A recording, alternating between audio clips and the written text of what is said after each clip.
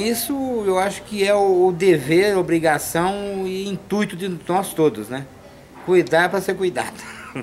Eu acho que é o que prevalece e deve prevalecer entre nós seres humanos, né? Já que nós somos racionais, embora tá havendo muitos contrastes nesse, nesse sentido, né? Assim na terra como no céu.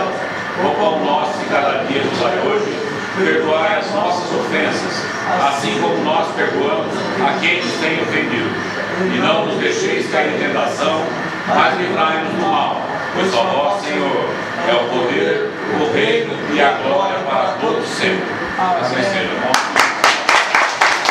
Sou coordenador desse trabalho, eu sou do Seara, que já existe há um bom tempo, mais de 50 anos.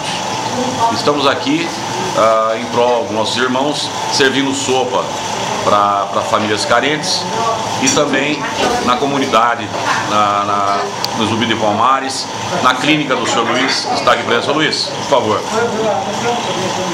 Ele está aqui presente com a gente, ele vem também pegar um pouco desse remédio, desse fluido benéfico da sopa, certo Luiz? É, fala um pouco da sua clínica que você leva a sopa para eles. Lá nós somos em 25 pessoas, né, todos dependentes químicos. A gente tem um trabalho já há mais de 10 anos com a clínica. E no meio desses dependentes tem muitos moradores de rua, situação de rua, estão com a gente também.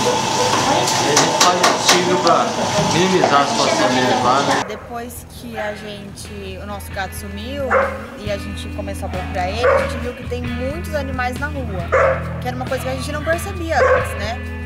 Depois que a gente começou a buscar ele, a gente viu que tipo, toda esquina tem um gato, um cachorro que tá ou perdido ou abandonado, e que alguém precisaria ajudar, né?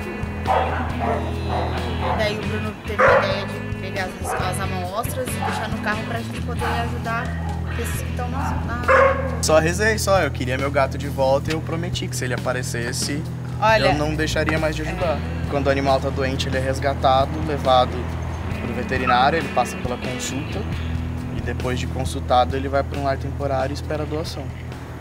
Por amor a bicho. Amor.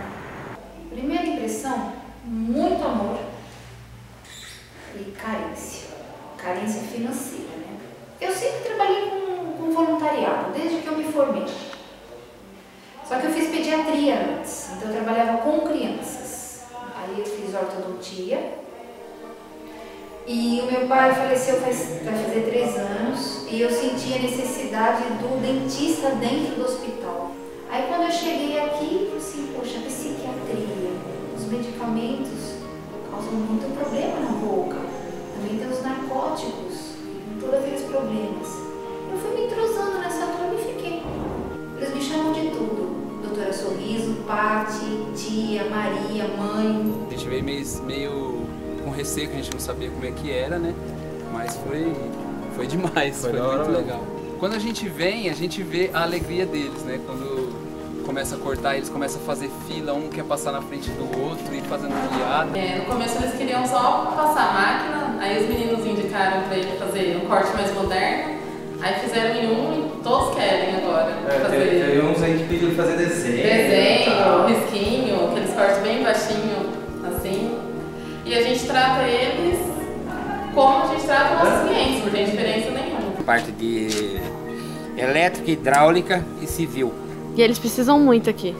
Sem dúvida. Sem isso, teriam que contratar uma mão de obra, né?